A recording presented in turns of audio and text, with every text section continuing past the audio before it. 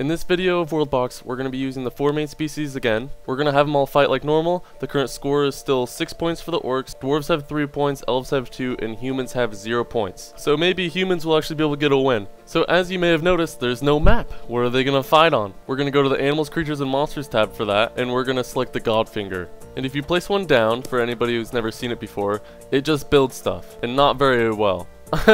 It'll just zigzag around, it can build water, sand, stone, mountain, whatever. Anyway, so I'm gonna spawn a million of these guys. there we go. See some of them there. You can see building mountain, soil, and sand. And we're just gonna let these guys build a world, and then we're gonna spawn in the the four main species, and we're gonna see who wins. I wonder how many I should spawn in. All right, I have 311 of these guys, and the map is changing very rapidly. All right, I'm gonna get rid of all of them at once. And see you later, suckers. Oh, there's a few more. Woo!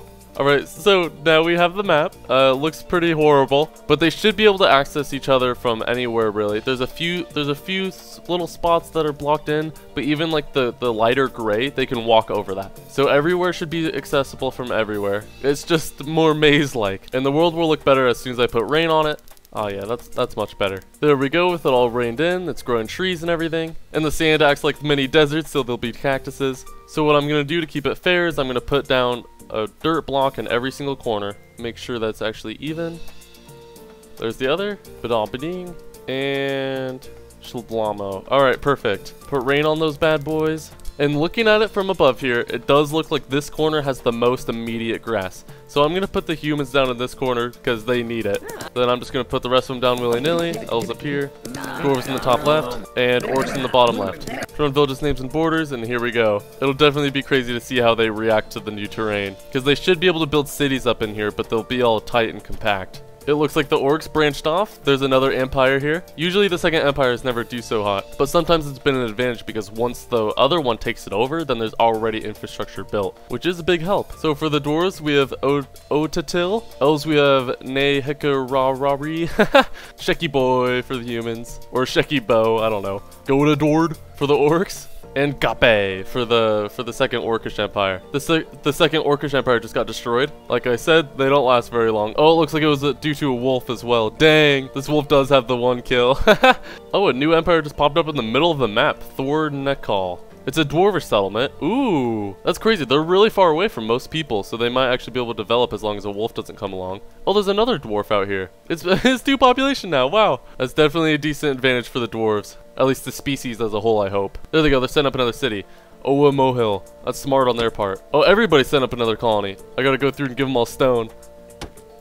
The orcs are being smart. They already got a mine and a barracks up. Wow. The humans and elves are at war. What? Are they fighting in here? They totally are. There's a there's a an elf was just hitting the house. There's some human raiding parties just working their way up through this maze of a world. The dwarves are at peace, and the orcs are also at war with the elves. So now the elves are at war with humans and the orcs. So looking at the leaderboard here, we have the elves in first place with 72 population, orcs in second with 64 population, dwarves in third with 62, humans in fourth with 53, and then the second dwarvish empire with 15 population, which makes sense. They were the last to be set up, and they aren't in the best location. They're squeezing more houses in here than I thought they would. Wow. All of the main cities now have a barracks and a mine. Except for Thor Nekal. Oh no, they got a mine up. Alright. Orcs are setting up their third colony. Everybody's expanding really quickly. Thor Nekal setting up their first second colony. Harrell. Humans and dwarves setting up their third colonies. Paviwa for the humans. And Dig Atapedal for the dwarves. And somebody just made peace. The humans are now at peace with everybody. The elves are at war against the dwarves and the orcs. And Thor Nekal's in peace with everybody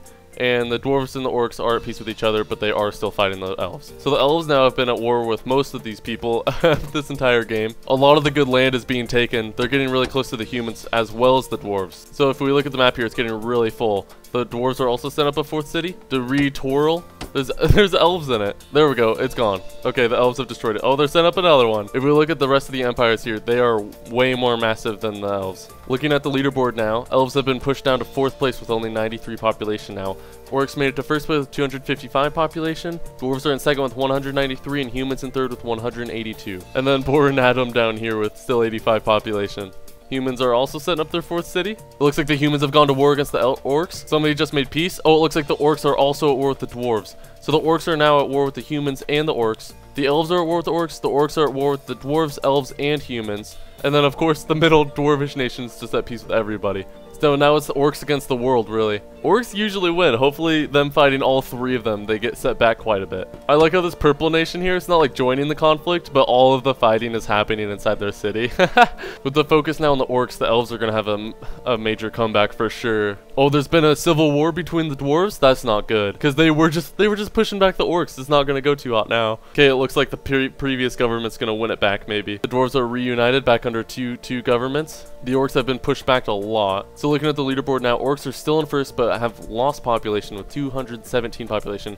Humans are now second, gaining in population from earlier, 193. The dwarves are third with 176, and then the second dwarvish nation's actually only two population away. They have they have gained in power tremendously. And the elves are also gaining a new foothold after the focus was more set on the orcs, and they have 156 population now. Look at all these humans just lined up here. Oh wait, they're fighting the Purple Nation. They're fighting the dwarves. Humans made a big time mistake, and they're just sitting here.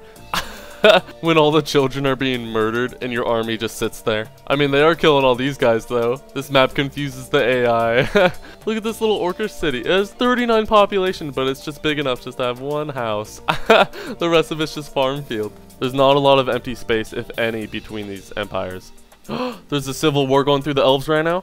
It's in between the the two other elvish cities. Oh, they oh they took the previous capital. It looks like it's gonna win. How the tables have turned. Unoso now is against the the old old capital and the the rebelling city. The orcs and dwarves are fighting, but it's not even the purple nation. It's the yellow and red, and they're just fighting in the middle of this city.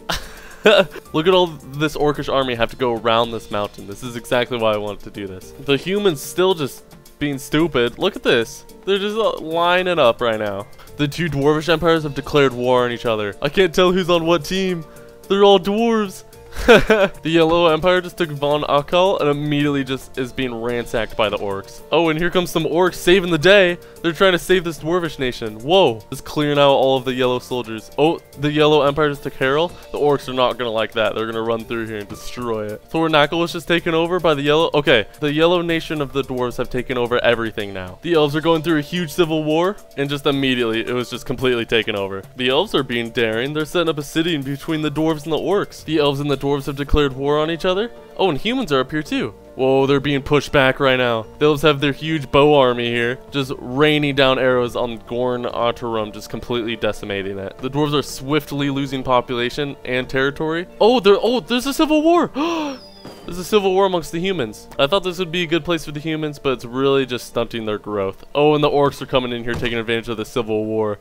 I'm gonna make it so that everybody hates each other. I want to see a species die. Who's it gonna be? Not much has changed. There's a huge conflict though between the dwarves and the orcs. Whoa. That's a lot of fighting. Even with all of them at war with each other, like not much has changed. All of their cities have such good protection since they have those natural borders that once they get pushed back to a certain point, they will always be able to defend themselves. And they all attack each other to the point where they don't let each other get big enough, so then they would have a big enough army to actually push through those points. Does that make sense? So because of this constant stalemate, I'm gonna put down a dragon, or maybe a few, and just see how that stirs up things. And it looks like they decided to go towards the dwarves. Oh no, they're spreading out the love. Okay, good. They're destroying the orcish capital, Whoa. Orcs are definitely getting the, the worst of this, I think. Okay, so one died, and there they go. They're both dead. All of the dragons have died. How, did that do anything? it definitely hurt them, but I don't think it'll actually kill any of them. Maybe the plague will be good. Here, have the plague. All of my peoples. You will love it, just like I have the past year. Let's see if that changes anything. Population is dropping, that's for sure. They're all going below 10. Will they survive from this? Or did I just ruin the game? Population's getting down to below 100. Whoa, okay. Cool, let's do it again. yes, more sickness. The Elvish capital just got destroyed, or died out rather. what I'm gonna do is I'm gonna put them into a, deep winter. I'm gonna cover them with clouds. Whoever wins will basically just whoever has more food and storage, I think. Because eventually they'll all starve. So here's my fluffy cloud of cold. And I'm just gonna let it snow all over everything. It's the winter wonderland. Oh, jolly good show, eh? Wow, the map looks drastically different now. I'm gonna go through here with the cold thing and actually fill up the rest of the map with coldy, cold snow. I don't think they could farm when it's completely covered like this, so we'll see what happens. Because if we look in here, like, these guys have 120 food in storage. These guys have 58 food in storage. The dwarves have no food. The orcs have 12. So maybe the humans will get a, get a win. It's not the most honorable win, but it might be a win. oh, the humans have this one plot of land? No. No, it all must be cold. All of it. It's hard to believe that nobody's died yet. Out of, through all of this, nobody's died. What if I just put like, some evil mages in the middle. Alright, they're killing the orcs it looks like. And the elves, they were the closest. Rip. And there's some over here attacking the dwarves, it looks like. At least there's fire. And there's some over here with the humans as well. The orcs have one population left. Whoa, this orc's crazy Wid Augo. Regeneration Savage, weak, deceitful, slow, immortal, immune, and wise. Evil Staff of Power is really good. That's from the the wizard. Oh no, humans are gone. Bruh. And and elves and dwarves aren't doing too hot either. Orcs are gone. Orcs just died. It's between the dwarves and the elves. the elves have an advantage with four population compared to the dwarves one. No! Snow, snow it up, snow everything. He's gonna die. There's another wizard on him, and he's starving to death. The, the elves are gonna win. He died. Okay, elves have won. Finally. the Elvish Kingdom here with two populations survived. There's only two children left. Well, congrats to the elves the new scores. Orcs have 6 points, Dwarves have 3, and Elves have 3. So now the Dwarves and the Elves are tied, with humans still having no points at all. Even with all of the things happening to the other species, humans still managed to die first.